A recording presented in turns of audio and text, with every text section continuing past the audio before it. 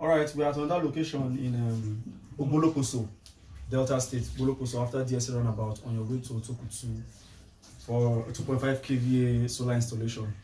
So over here we have our 2, uh, 2.5 kVA inverter. This is a GSR inverter. They both produce inverters and batteries, so they're reliable Indian uh, inverter. Very, very good. Then we have um, two pieces of um, tubular batteries. Those, those batteries are 230 amp hours each. So combination of both to give us 24 volts because this is a 24 volt system.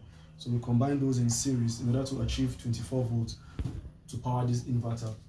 And right here we have a 60 amps uh, Sunfield charge controller as an MPPT charge controller which converts the energy from the panel into a usable current that will be able to charge the battery. And then over here we have the breaker box. This is this is the electrical breaker box. White is not on right now because there's no there's no power from the grid.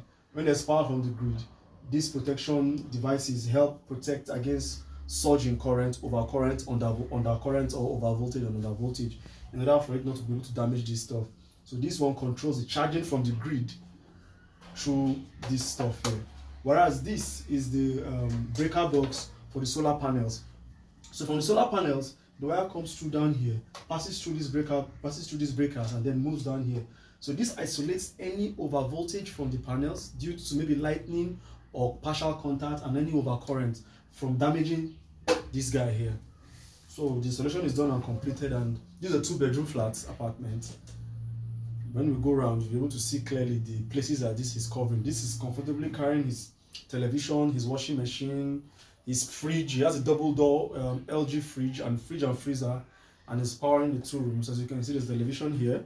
There's another one in the parlor and there's another one in his guest room. So this job is completed and the client is happy. See you on the next one.